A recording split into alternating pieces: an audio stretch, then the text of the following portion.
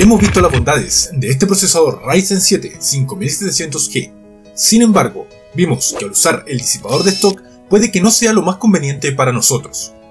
Vimos en un video cómo este se quedó totalmente pegado al cooler de stock. Y también preguntamos a la comunidad qué opinaban de los disipadores de stock de AMD, donde el 55% de los que respondieron la encuesta afirmaron confiar en ellos.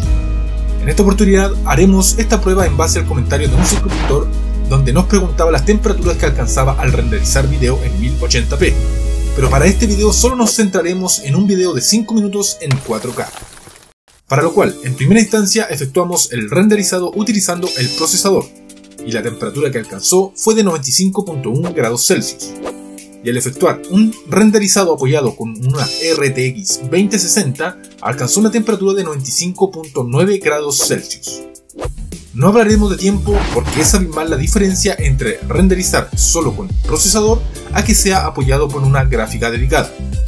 Así que, para concluir, aunque no alcanzamos a llegar a una temperatura de estrangulamiento térmico, es una realidad que sí estamos muy cerca. Para lo cual, quizás en otras condiciones ambientales, sí podemos llegar a esta temperatura límite. Así que si tienes un disipador mejor o otros ventiladores para mejorar el flujo en el gabinete, no estaría nada de mal. ¿Cuáles son las temperaturas que alcanzas al renderizar video en tu procesador? Déjanos tu opinión, que Dios los bendiga y les dejo este video donde podemos ver cómo este procesador quedó pegado al cooler de stock.